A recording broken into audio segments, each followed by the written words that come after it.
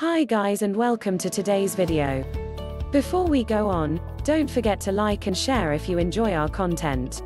Please hit the subscribe button to get notified when we post more dog related content. Liking and sharing our content helps massively with the growth of our channel, so it's very much appreciated. Today's video is all about purebred dogs. Are you interested in getting a new dog? If so, it's important for you to think about whether you would prefer a purebred or a mixed breed. It's also wise to consider all the factors that will influence your decision. Maybe you have fond memories of growing up with a particular breed. Or perhaps you're looking for a dog that has specific physical and behavioral traits. Like all pets, purebred dogs have their ups and downs. It's vital that you understanding the pros and cons of owning a purebred. This way, you can make an informed decision about whether one is a good fit for you. As well as taking into account your home and your lifestyle. Always buy from a reputable and responsible breeder. Why is it important to purchase a purebred dog from a responsible breeder? Although a purebred dog might have desirable traits, some also have various health or behavioral problems. All dogs descend from the wolf. However, current breeds only exist because people designed them for specific purposes. By doing that, it can produce a lot of hereditary problems. For this reason, it's important to purchase a purebred dog from a responsible and reliable breeder. Why are purebred dogs so popular? In today's society, some people want purebred dogs simply because they're popular in the media. Dogs become trendy, and that's not always a good thing. When trying to find the right pet, you must think about your own personal preferences. Do not follow the crowd. You want to determine what's best for your lifestyle. As always, we will start with some pros. What are the pros of owning a purebred dog? Here are some pros of going the purebred route when looking for a new pet. Predictable physical traits. You can usually count on a purebred pet to have a certain set of physical traits. When you adopt or buy a purebred puppy, you can do so knowing the approximate size that he will grow to be. You will also know the type of hair, fur, and body he will likely have as a full-grown dog. Predictable behavior and temperament. Dogs with pure bloodlines were bred over centuries to have certain temperaments. For example, poodles and Jack Russell Terriers can have hyperactivity. Basset hounds and pugs tend to behave in a much more docile manner.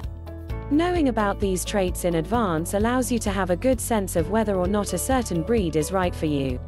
Approved to compete in dog shows. Only purebred dogs are allowed to compete in American Kennel Club sponsored dog shows.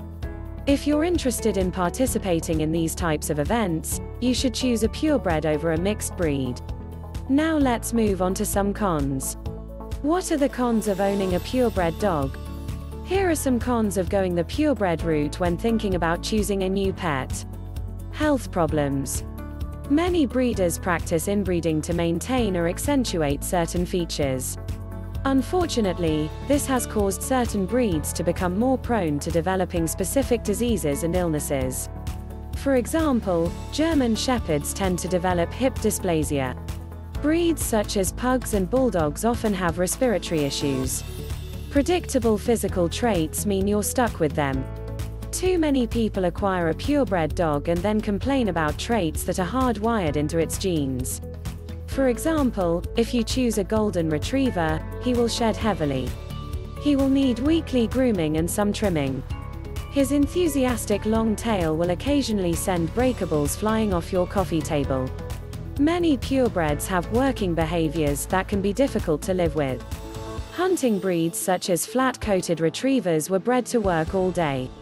Can you provide the exercise and mental stimulation that so many breeds need in order to feel satisfied? Most breeds were developed to do some type of work. Herding sheep or cattle, hunting pheasants, or retrieving ducks. Hunting rabbits or raccoons, killing barnyard vermin protecting livestock, guarding estates, pulling carts or sleds. Let's not forget police and military work. Behavioral traits that help a breed do its work include high energy level, independent thinking, doing what they want to do, rather than what you want, Strong desire to do things, not just hang around the house and yard. Chasing, grabbing, or nipping at things that move, such as cats and other small animals. Aggression toward other dogs. Digging holes. Suspiciousness or aggression toward strangers. Barking or howling. A quick note on health. Many owners regularly get their dog's health checked.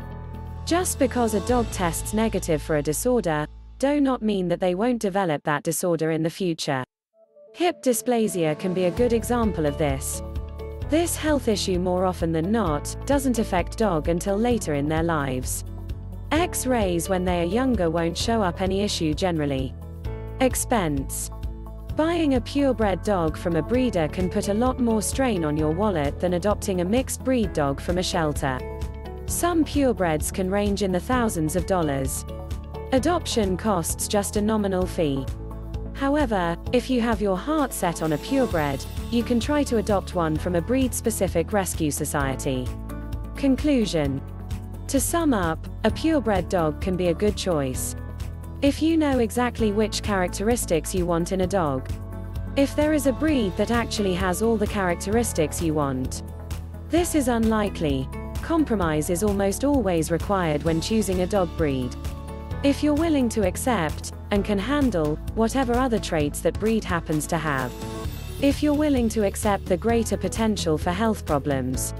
This can be much worse in some breeds than in others. If you're willing to pay hundreds or thousands of dollars for a puppy.